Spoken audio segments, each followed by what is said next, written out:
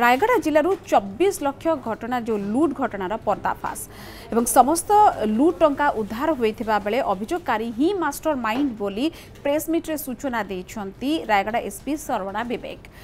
গত দশ তারিখে সিএমএস নামক এটিএম টঙ্কা ডিপোজিট সংস্থার কর্মচারী অনিল কুমার গর্ডিয়া চব্বিশ লক্ষ টঙ্কা ডিপোজিট করা যাওলে তেবে এফসিআই ছকরে বাইক্রু লুট হয়ে অভিযোগ হয়েছিল এই ঘটনার খোলতাড় করা পরে অনিল কুমার গর্ডিয়া হি লুটেরা বলে জনাপড়ি অনিল তার সম্পর্কীয় ভাই বাপি মিশাল এবং সুধাংশু মিশাল সহিত মিশি লুট নাটক রচনা করে এসপি সমস্ত গিরফ করা কোর্ট চালাণ করা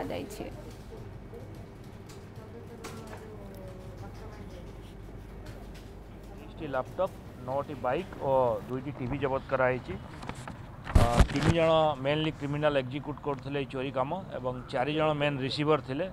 समस्त को गिरफ्त कर आज समस्त को कोर्ट फरवर्ड कर